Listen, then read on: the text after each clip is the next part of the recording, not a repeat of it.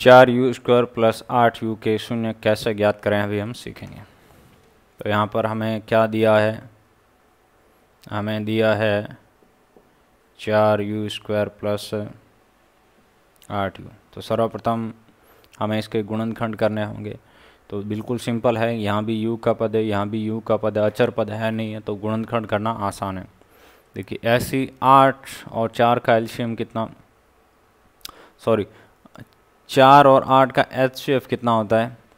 चार होता है। यानी ऐसे समझो कि यहाँ ऐसी कौन सी संख्या जिसका यहाँ भी भाग जा रहा हो, यहाँ भी भाग जा रहा हो। ठीक है? वो है चार। उसके बाद यहाँ भी यू है, यहाँ भी यू है तो ये भी कॉमन आएगा। तो चार का भाग चार में, एक बार यू का भाग यू स्क्वायर में कितना? यू आ जाएगा। उसके बाद चार का भाग आठ में, दो बार। और यू से यू कैंसिल हो जाएगा। तो इसके ये गुणनखंड आ गए। अब हमें क्या करना है? शून्य ज्ञात करना है। तो शून्य क्या होता है?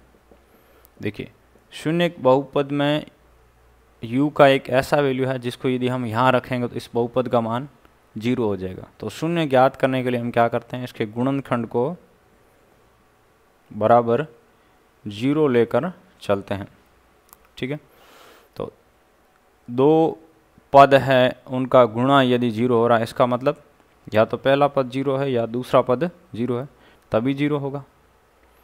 कितनी दो पदों का गुणा ज़ीरो कब होगा?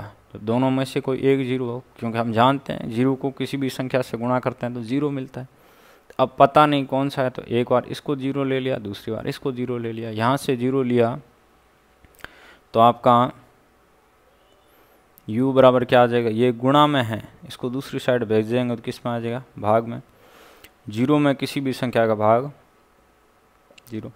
ये प्लस का है, दूसरी तरफ़ भेजेंगे तो माइनस का आ जाएगा। देखिए प्लस से माइनस में जाता है, गुणा से भाग में जाता है। ये क्लियर होना चाहिए। तो अंत बहुपद के शून्य का हमें मिल गए।